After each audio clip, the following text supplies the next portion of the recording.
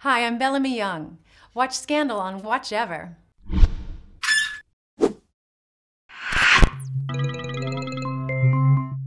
And you're caught up, right? You've seen through the third series? Spoiler me if you want to. Okay, okay, wonderful. Um, I don't have any idea what's going to happen next year. I know that seems like a crazy answer, but we just get the scripts the day before we start shooting, and they keep everything very close to the vest. Uh, I can, can't even imagine. Our writers are such geniuses that, I don't know, I'm ripping out stitches. I don't know. Please try to imagine, or what would you wish, what could be a direction for Mellie? Well, we left off at an absolutely gutted moment for Fitz and Mellie. Um, uh, we were in the best of times because we've won another four years in the White House, which is terrific. But we were absolutely in the worst of times because we'd lost our son. I, um, I, I imagine we'll start right back up there because that's such a fertile moment for pain and drama. And Shonda loves to poke at your sort of soft underbelly when you're down and out. Um, so I think it might be healing and trying to find our footing again as a couple because we are quite united in our grief, but still quite divided in that in his grief he called out for Liv. Um, so I think it'll be full of pain. That's what I think. Um, and I'm sure a bit of hilarity somehow. uh, Mellie Grant is a very determined character, willing to do everything for her goals. And um, what drives her to be part of dark conspiracies, keeping even the secret of being raped to herself mm. just to preserve her power? Oh gosh, I, I don't know if I see it that way.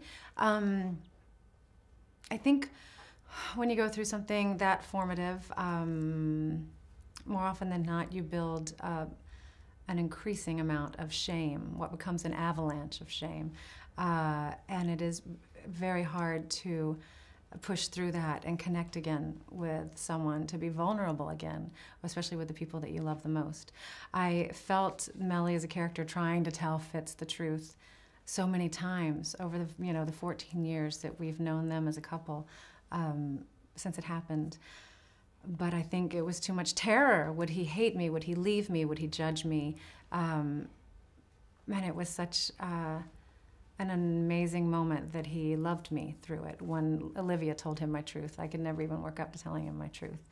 Um, yeah, that's that's what I think. Um, um, did you have some kind of inspiration for your role of Mellie Grant? Did you take a look at other first ladies or something? I'm very fortunate that the scripts come to me so beautiful that I could really be a really lazy actor and just say the words as they're written on the page, and it would still be sort of an astonishing story. Um, I, when I was hired, just had two lines, and I started out with a very small story arc, but as it's grown. Um, it's been so much fun to really become a student of history. The Office of the First Lady is quite an unsung history in our schools as we're growing up. So it's been incredible and edifying to go back and learn about these women. It's always taken a union to run the union. And so to learn as far back as Julia Grant and Dolley Madison that those women were uh, handling the home front uh, while their men were off handling the states. Um, and I have been continually inspired by how much of their power each of the first ladies has been able to bring into the public eye.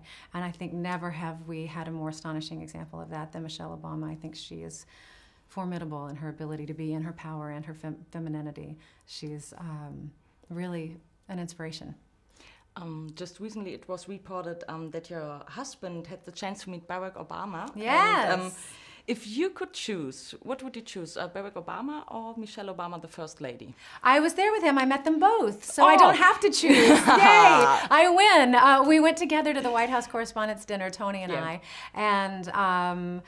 It was astonishing. Uh, Barack Obama, when he saw Tony as we walked up on the dais, he said, Mr. President, Mr. President. He introduced himself as if we didn't know. Uh, and Michelle Obama, you're all caught up, so I can say, she said to me before hello, before anything, why did you kill your son? And I said, oh, don't be mad at me.